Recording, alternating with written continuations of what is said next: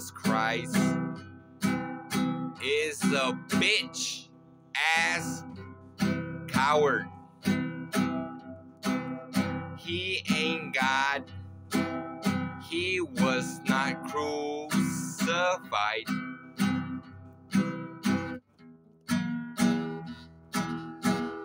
Diosito Santo was the one crucified. Not that bitch ass Jesus Christ. I want to fight whoever killed my father Isaac Solis Jr. for my sister Lisa.